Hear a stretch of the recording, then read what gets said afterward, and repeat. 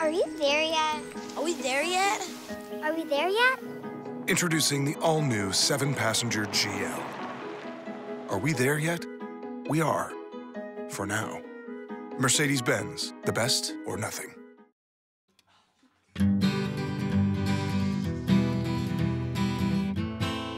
Hi, we're the Slade family.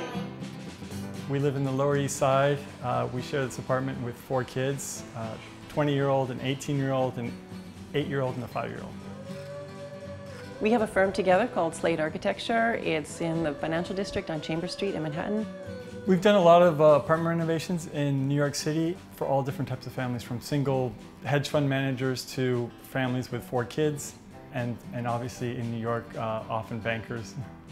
The way we designed the house, the spaces that we enjoy and spend most of our time in are the communal spaces, the living room, dining room, and kitchen. We were really focused on designing it so that people have nooks and crannies to kind of retreat to, and we wanted to create distinct areas that they could kind of own and feel a little bit of independence in. Because of the age uh, groups, you know, they have very different needs. And so when we were looking at the teenager space, we felt that they needed their own space where they could hang out with friends, listen to music, and not feel like they were being attacked and bombarded by the small kids who are lovely, but they can be a little overwhelming. Uh, so what we did is we created a sort of suite for them where they have a, two small sort of sleeping nooks almost and a shared kind of living space.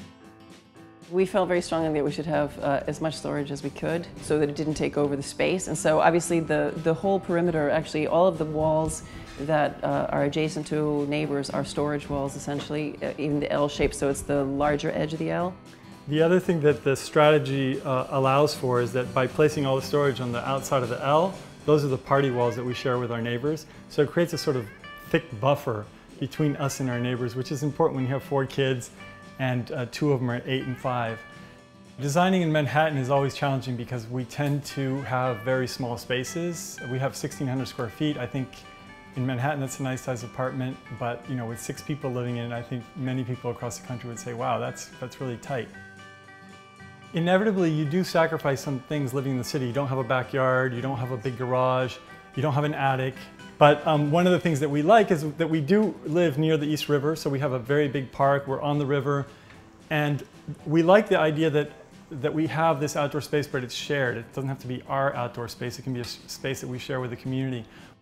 Choosing the Lower East Side and, and choosing to stay in Manhattan also uh, was kind of strategic uh, in the long term because we think that Manhattan is a very dynamic place where people like to live, especially young professionals. And we thought, okay, after our kids go off to school, there's a much higher chance that they're going to want to come back and live near us if we're in Manhattan.